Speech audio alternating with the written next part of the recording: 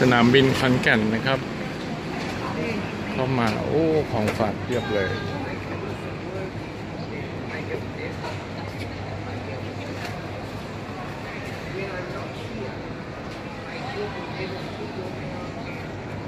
นี่เป็นชั้นสองครับผู้โดยสารขาออก ตรงนู้นก็มี Terminal Cafe ครับ มีร้านกาแฟ มีแบคแคนยอนอยู่ชั้นสองนะครับ เฮ้ยข้างบนเหมือนมีร้านอาหารอีกนะท่าอากาศยาน ชั้นสามนะครับมีร้านอาหารด้วย เข้ามาตรงนี้ก็จะเจอของขายครับ พวกโอท็อปอะไรต่างๆ มีผ้าไทยด้วย ร้านขนมคุณพัฒนาอันนี้อร่อยนะครับ ครับโชคดีครับ วกขนมปังลาวาชานมลาวาเนี่ยอร่อยผมเคยมีคลิปรีวิวนะฮะเราก็มันจะยุ่งวันแล้วก็มีของขายต่างยุ่งบ่อน้ำมันหรอๆ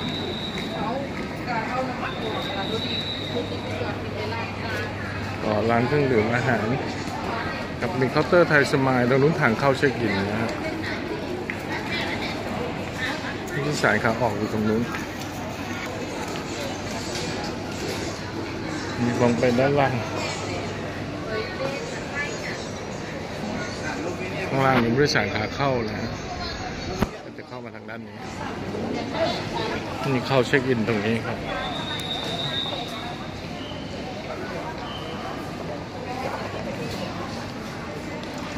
มารับกระเป๋าด้านหลัง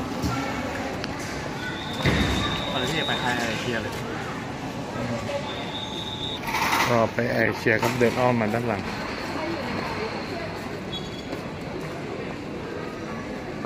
เคาน์เตอร์เช็คอินครับ ก็ได้ boarding pass เรียบร้อยครับ เป็นที่นั่งแล้วก็ตามไฟนะฮะ เราเช็คกระเป๋า เรากระเป๋าเข้าไปเช็คอินนะฮะไข่ไหมตามนี้ฮะยื่นบัตรประชาชนนะครับหรือเอกสารที่แสดงตัวเราอย่างเช่น พาสปอร์ตก็ได้นะครับ ถึงแม้เราจะไม่บินต่างประเทศ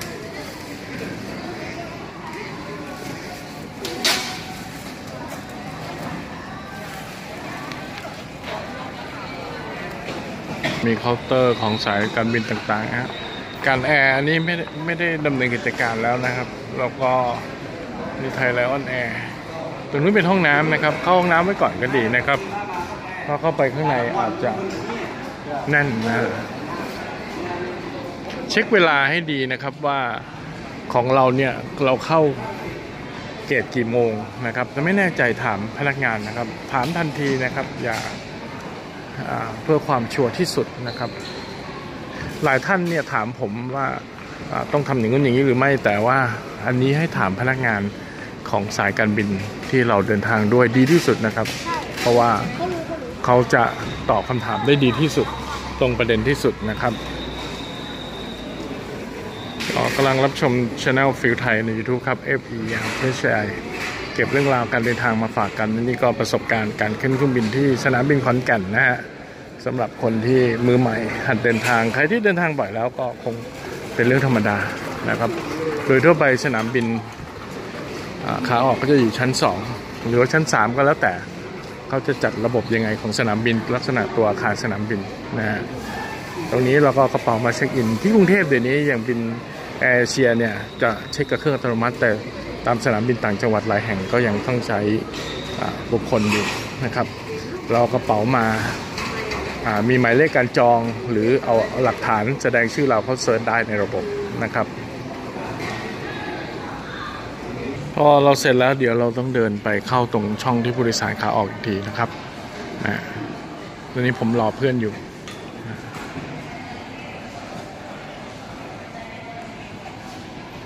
สนามบินขอนแก่นนี้อยู่ภายใต้การดูแลของกรมท่าอากาศยานนะครับ ไม่ใช่บริษัทท่า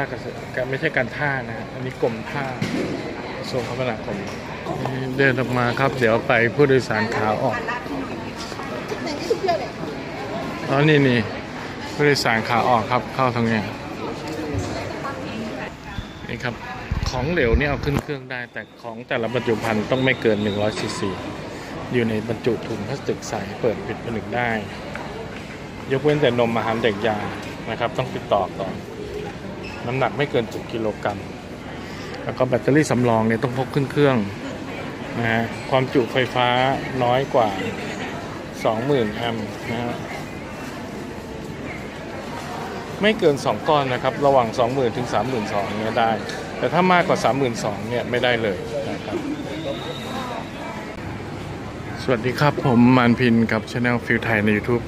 ตรงนั้นมีป้ายฟู้ดเบเวอร์เรจอาหารเครื่องดื่มชากาแฟเชิญชั้น3อยู่สนามบินขอนแก่นนะครับ ชั้น3เขาก็มีร้านอาหารด้วย ผมก็จะขึ้นมาดูสักหน่อยยังไม่เคยขึ้นมาเลย ร้านอาหารท่าอากาศยานโอ้นี่เป็นร้านอาหารนะครับปลาส้มทอดหมูแดดเดียวขนมจีนน้ำยาปลากะทิขนมจีนน้ำยาลาว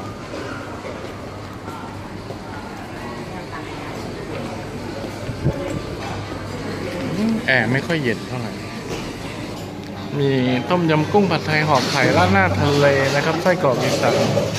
ซุ่มซุ่มอ่านนะครับส้มตำแปดสิบนะครับสลัดผักร้อยยี่ห้าราคาสูงเหมือนกันนะไข่เจียวร้อยสิบแล้วก็อาหารจานด่วนประมาณร้อยสิบบาทร้อยยี่สิบร้อยห้าสิบร้อยสี่สิบแล้วแต่อย่างครับน้ำปั่นเจ็ดสิบแปดสิบบาท กาแฟร้อนสี่สิบบาท โกโก้สี่สิบชาเขียวโอริที่สามห้าโซดาสามสิบครับ ก็มาคนเดียวครับ แล้วก็เที่ยวบินผมกระชั้นนะฮะขึ้นมาเก็บบรรยากาศไว้ก็เลยสั่งแค่กาแฟร้อนนะครับ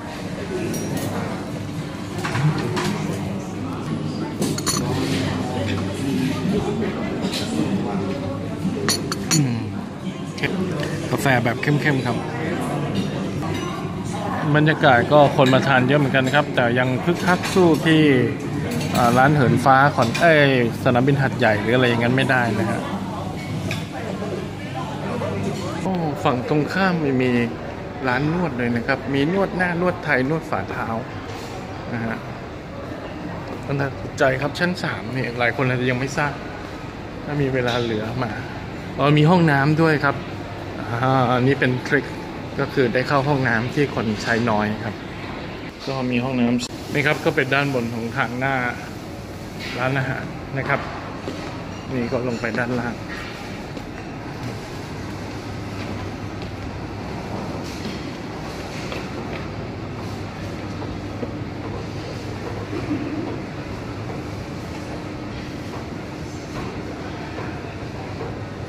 นี่ครับลงมาตัวนี้ก็แบ็คแคนยอนนะฮะ ส่วนตรงนี้เนี่ยก็ผู้โดยสารขาออก เดี๋ยวผมก็ไปตรวจกระเป๋านะฮะ ตอนนี้ก็เอาบอร์ดิ้งพาสแล้วก็เอกสารจำตัวให้เขาดูก่อน เข้าไปแล้วก็ตรวจกระเป๋าผ่านด่านการตรวจมาแล้วครับ นี่ก็เป็นด้านในของสนามบินนะครับ อาคารผู้โดยสารผมผู้โดยสารขาออกนะฮะ นู้นก็มีร้านกาแฟมีของฝากอีกนะฮะ แล้วก็มี Smile Lounge อ๋อของสายการบิน Thai Smile นะฮะ แล้วก็อ๋อมีตรงนู้นเป็นช่องผู้โดยสารระหว่างประเทศนะครับ แล้วตรงนี้ก็มีโอ้กาแฟ Black Canyon อีกนะฮะ แล้วก็ขอนแก่นไทยออฟ gift shop ก็มีร้านนวดด้วย 30 นาที 200 บาท ก็ของฝากครับ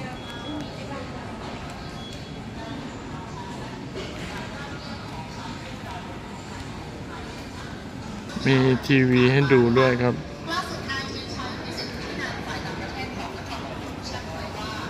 มีห้องน้ำอยู่ด้านนู้นนะครับ อันนี้ของฝากทูน่าคาเฟ่ครับ หมูยอแม่ท้วนนี่ไม่ได้อยู่ตังนะครับ อยู่หนองคาย แล้วก็แหนมเนืองวิธีแหนมเนืองกับแดงแหนมเนืองถ้าไปขายคู่กันได้ เขาเป็นญาติกันนะครับ มีหม่ำเนื้อแหนมเนืองไก่ย่างเขาสวนกวางไส้กรอกวุ้นเส้นนะครับแจ่วบองใหญ่น้ำพริกปลาทู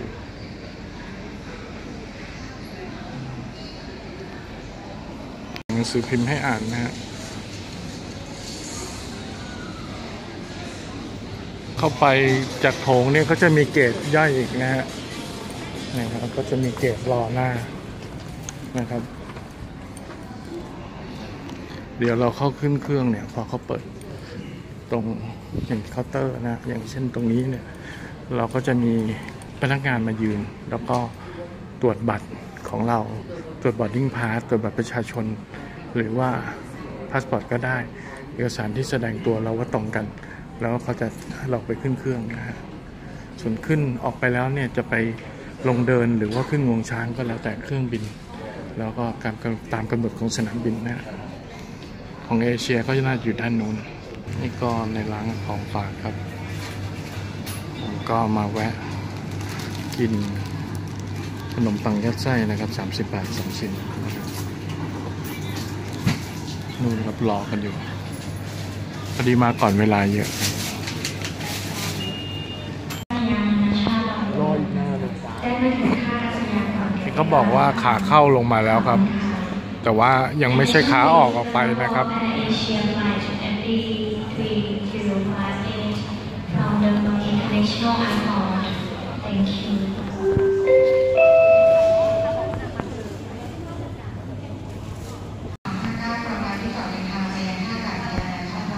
โอ้โห เคลียร์เร็วมากครับ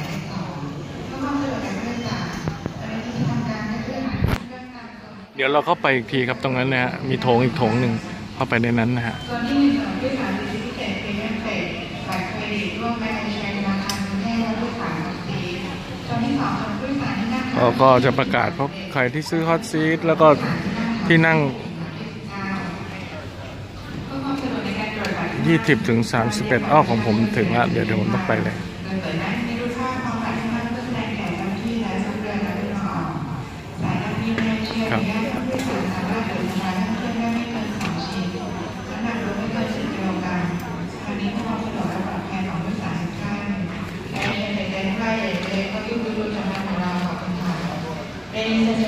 ก่อนนะครับ ก็รอขึ้นเครื่องครับแล้วที่จะออกเดินทางเวียนท่าอากาศยานนานาชาตินี่มีเสียงประกาศของสนามบินของสายการบินอื่นขอเชิญท่านผู้โดยสารทุกท่านขึ้นเครื่องด่วนนับประตูทางออกหมายเลขของสาผมมที่ค่ะ31นะครับผมก็ไป Attention นู่น please, this is final call on Thai Smile Flight WE Slow 47. WE Slow 47 bound for thank you.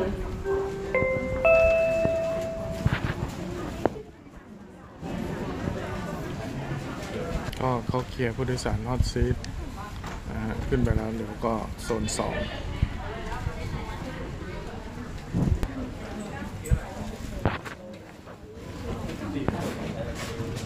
นี่ครับ เฉพาะ 20ถึง31 นะครับ ในโซนสอง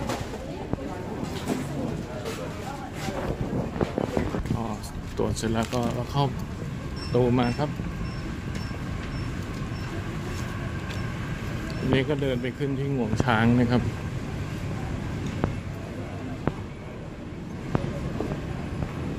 ไม่ต้องห่วงว่าจะไปไม่ถูกครับ เขาจะกั้นทางไว้ให้เราไปถูกนั่นแหละครับ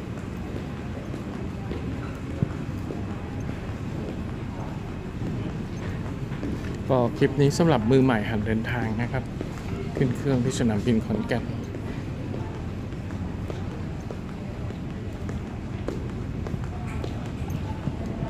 นี่ลงอันนี้เป็นงวงช้างทำใน รู้สึกจะเป็นของประเทศอินโดนะครับมันมีเครื่องการบินไทยจอดอยู่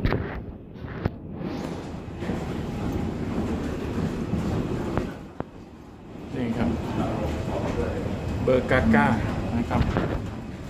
ของอินโดผมแอร์เย็นเลย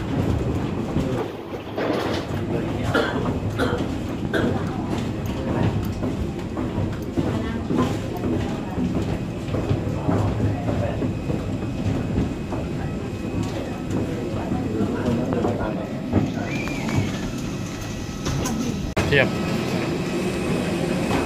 คันนี้แหละครับที่จะลากเครื่องบินเคลื่อนที่ที่สนามบิน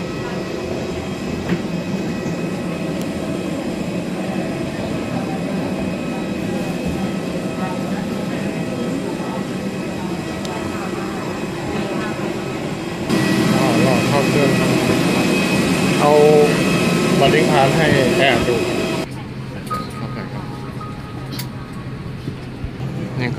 เป็นที่เก็บสัมภาระด้านบนนะครับ เวลาเปิดระวังของหล่นด้วย ก็ประจำที่นั่งนะครับของผมที่นั่ง 31A นะ 31A อยู่บนเครื่องเรียบร้อยแล้วครับ เดี๋ยวรอเครื่องขึ้นนะฮะที่สนามบินขอนแก่นก็ผมช่วงนี้มือถือพัง เอ้ยกล้องพังครับใช้มือถือถ่าย เพราะฉะนั้นเนี่ยผมจะถ่ายตอนเครื่องขึ้นลงไม่ได้นะครับ เราจะให้ถ่ายอีกทีตอนที่ เครื่องขึ้นไปบนอากาศเรียบร้อยแล้ว งั้นเดี๋ยวเจอกันอีกทีตอนเครื่องขึ้นแล้วก็ปลดสัญญาณและขัดออกเรียบร้อยแล้วนะครับ เครื่องก็ลงถึงจอดสนิทแล้วนะครับ ก็ตอนนี้ใช้มือถือได้จะจอดด้านตามด้านนอกนะครับก็มีขยับนิดหนึ่งก็จอดแล้วครับ ก็ลานด้านนอกเดี๋ยวต้องนั่งรถคล้ายๆรถบัสเข้าไปครับ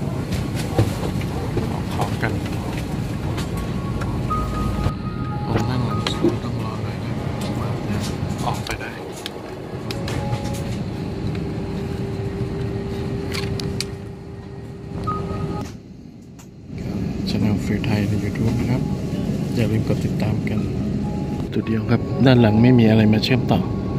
นะฮะถ้ามีประตูหลังเปิดด้วยก็ไวหน่อย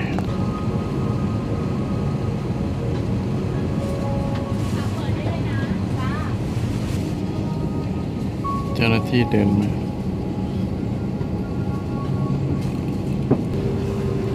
ข้างหน้าทยอยลงนะครับลงจากเครื่องครับ เขาชะลอไว้ก่อนสงสัยรถไม่พอครับ เดี๋ยวรอรถมานะฮะนี่ก็มีไฟรถมาครับรถมาแล้วครับเลยปล่อยให้ลงต่อครับ นี่ครับที่นั่งตรงทางออกฉุกเฉินจะกว้างกว่าปกตินะครับ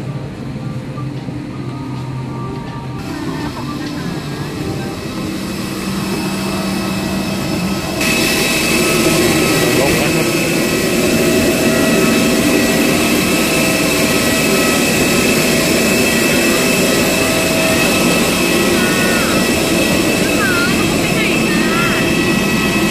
ก็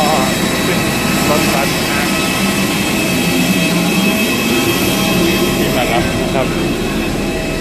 ตรงนี้ก็เป็นด้านหน้าคนขับนะครับ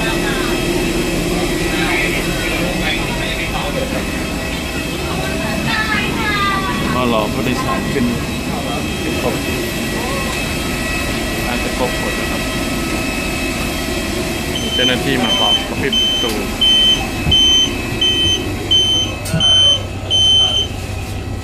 จะมีเจ้าหน้าที่ประสานภาคพื้นนะครับ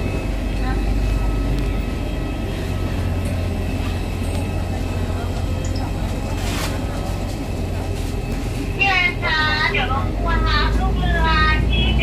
เก้าสิบนะคะ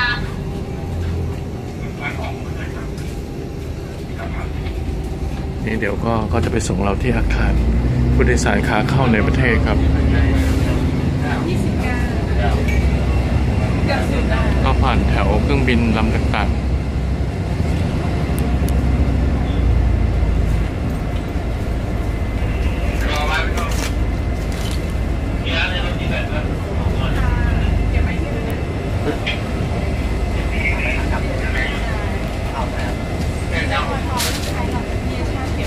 นี่ King Power มีลาย King Power ด้วยรู้สึก King Power ก็จะถือหุ้นแอร์เชียด้วยแต่ไม่แน่ใจว่าเท่าไหร่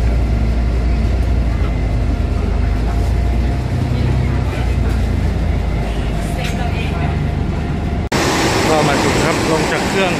เอ้ลงจากรถบัสนะครับ จะเป็นรถบัสใหญ่ๆนะครับ แล้วก็เข้าในอาคารที่เขาบอกไว้นะครับ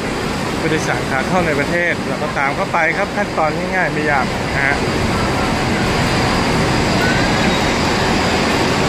ตรงนี้ก็มาดูว่าของเรามาจากไหนขอนแก่นนะฮะขอนแก่นขอนแก่นนะฮะลงแล้ว FD 3 2 5 9 เบล 15เนี่ยฮะเบล 15 นี่ก็คือสายพานที่ 15 เราไปรอรับที่สายพานที่ 15 เราดูไฟเรานะฮะ15 ครับไปต่อ ตรงนี้จะมีห้องน้ำที่ผู้โดยสารที่รู้สึกว่าจะต้องเข้าห้องน้ำแล้วนะครับ ก็เข้ากันเลยครับ สายพานอยู่ตรงนู้นนะครับห้องสิบห้าก็อันนี้เลยนะเดินถึงแล้วเจอเลย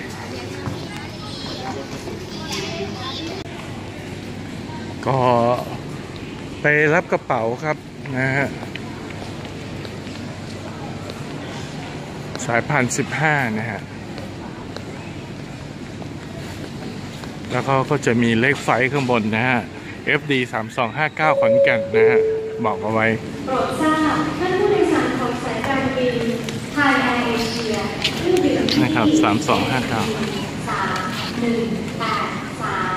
ซึ่งเดินทางกระเป๋าก็ควรมีระบุของเราให้ชัดเจนนะฮะ โปรดรับกระเป๋าและสิ่งของของท่านที่สายพานหมายเลขสิบห้าขอบคุณค่ะ เพื่อป้องกันการหยิบผิดนะครับ Attention please. Passengers on arrival of Thai Air Asia flight FT 3183 from Nakhon ศรีธรรมราช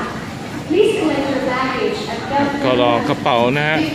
พยายามติดสติ๊กเกอร์ ติดห้อยอะไรแปลกๆเอาไว้บ้างนะครับชั้นตรวจของนครศรีธรรมราช มีสติกเกอร์ไว้ก็ดีกว่าห้อยอย่างเดียวนะครับเพราะห้อยบางทีเกี่ยวไปเกี่ยวมาแล้วหลุดนะฮะก็จะมีแนวว่าห้ามเอารถเข็นเข้ามาในตรงนี้นะแล้วก็ห้ามเด็กเข้าใกล้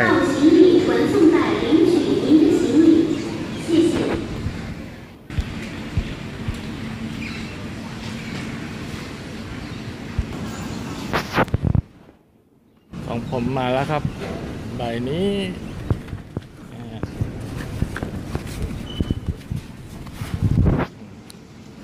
ได้กระเป๋าเรียบร้อยแล้วครับโปรดทราบท่านผู้โดยสารของพอรับกระเป๋าแล้ว9 5 2 1ความพนม Please collect your bag นี้ก็ เอาไปนะครับ ไม่ต้องผ่านด่านศุลกากร แล้วก็ไม่ต้องผ่านเขาเรียกอะไรฮะ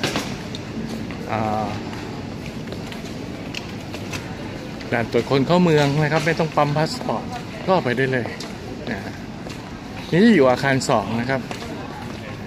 ถ้าใครจะไปต่อแท็กซี่ก็มีจุดต่อแท็กซี่ หรือว่าจะเดินข้ามฝั่งไปขึ้นรถหรือเดินออกไปข้างนอกเพื่อขึ้นรถก็ได้ แล้วก็มีรถ A1 A2 นะครับไป รถ BTS นะครับ หมอชิตทางนี้ก็เดินไปอาคารหนึ่ง สงสัยตรงไหนก็ถามประชาสัมพันธ์ได้นะฮะ แล้วพบกันใหม่กับ Channel f e e l ไทยใน YouTube ครับนะฮะเก็บเรื่องราวการเดินทางมาฝากกันนะครับ ตอนนี้ก็อยู่ที่ดอนเมืองเรียบร้อยแล้วครับเบสิกการเดินทางสำหรับมือใหม่นะครับ สวัสดีครับ